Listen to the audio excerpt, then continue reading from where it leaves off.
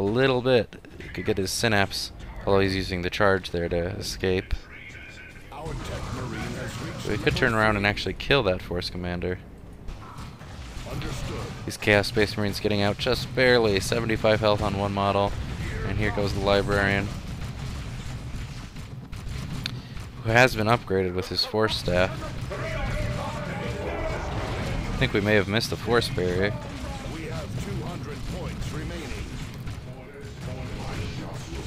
This is a pretty good decision leaving this tac squad in, but now we should retreat now that there's actually a threat.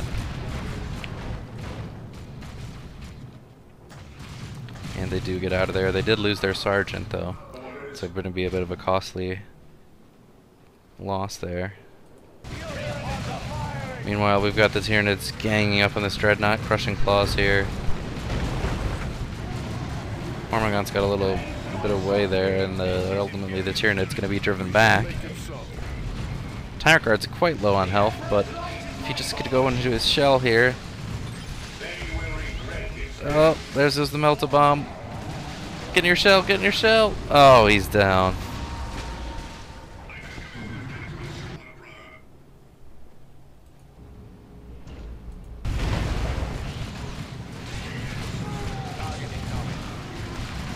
These Hormagaunts should have gone for the attack marines here while the Hive Tyrant helped push the, the Dreadnought.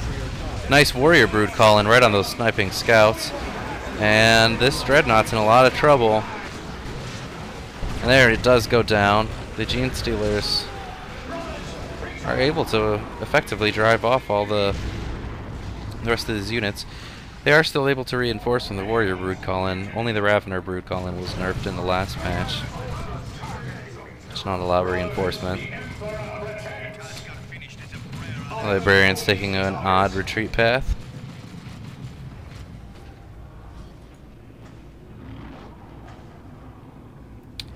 Warrior Brood upgraded with adrenal glands. The Tech Marine has been outfitted with the Signum armor, the plasma gun, and the orbs of Omnissiah.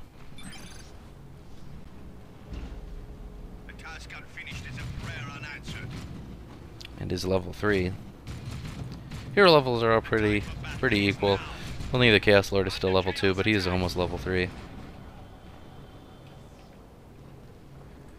Scouts ran up here and decapped both these wreck points. That is a really good use of those scouts from Wizard Lizard. Seems like Squidy keeps getting uh, lured into Werewolf SS's base, where he's then forced to retreat everything.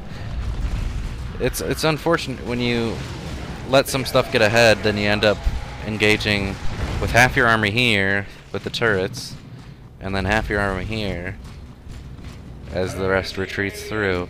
And meanwhile, Werewolf had all his stuff together. They did manage to decap this power generator, however, pay him back a little bit for when they took this generator.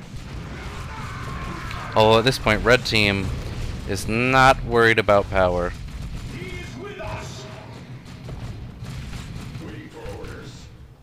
Chaos Lord charging around. He does have the Drain Life icon of Khorne there. And the Armor of the Inferno and Lightning Claws. Nice let the Galaxy burn there. The Tech Marine's gonna try to come in to save the day. But he is in a bad spot. Fortunately, there's still no heretics to help the Chaos Lord out here.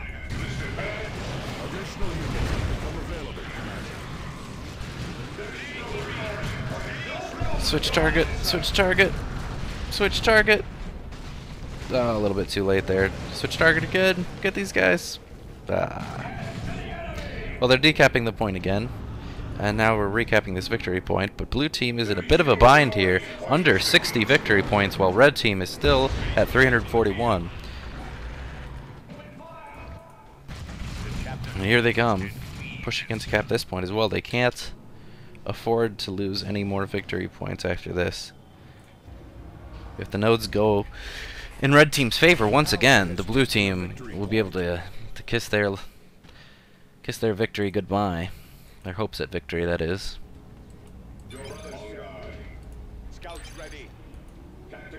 A bit of a problem here. You don't want to clump up like this. You only need one one squad to cap. I don't... Oh, that Tech was trying to ninja that point. But with three Chaos Marine squads, two Tzeentch and one Khorne, bit of a tall order to go into there.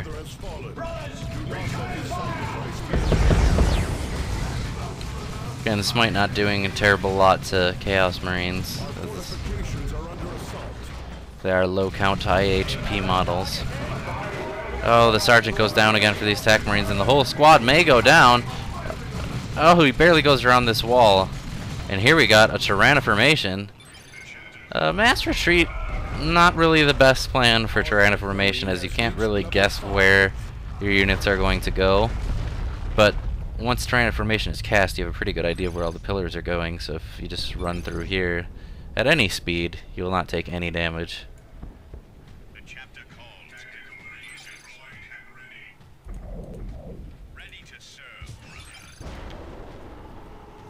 I think it would be best for Squidy to go for the middle here and help uh, be nearer to his allies so their armies can join up a little bit.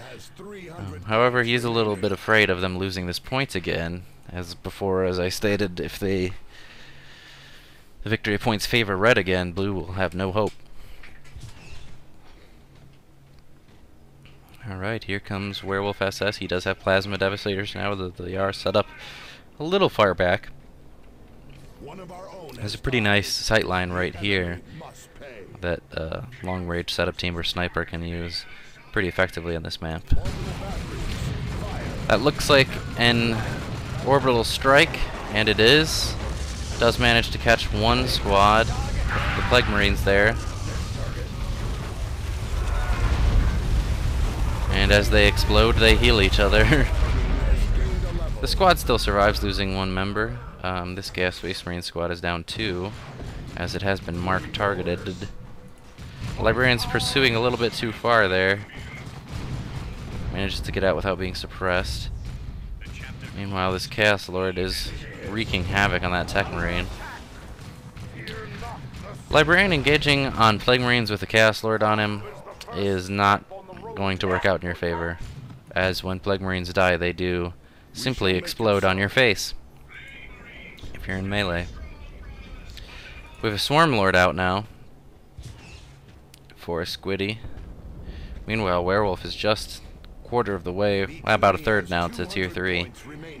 And marshct hasn't even started it. There's a bit of a mistake there from Red Team, I think. When they had a huge advantage, that's a really good time to go tier 3. Tech Marines trying to stay in melee against the Chaos Lord having activated their withstand ability. He's activated as well, but they did not need to. Um, not sure if I like this base attack. It's a little bit reckless as there's only the Hive Tyrant and the Swarm Lord here, and we do have Melta Bombs going off, we do have Plasma Devastator, and we do have the Force Commander, although you can't see his icon, with the Power Fist, Armor of Alacrity, and an Iron Halo. So the Swarm Lord, you pop Strain Life, um, pretty good time to pop it. And we do have a Carnifex on the way as well. And the rest of the army is joining in now, except for these Gene Stealers who are suspiciously absent, preferring to cowardly hide in this crater instead of engaging in the battle. Uh, meanwhile, these warriors are suffering pretty greatly and are outside the reinforced radius of the Swarm Lord. Hive Tyrant trying to take out this turret, but quite low on health himself. Does manage to take it down. Swarm Lord trying to run away. Oh, there goes the Melta Bomb. Is he to live? No, his health is too low. It goes off and he explodes. Collapses. And Carnifex realizes maybe this wasn't such a safe engagement after all.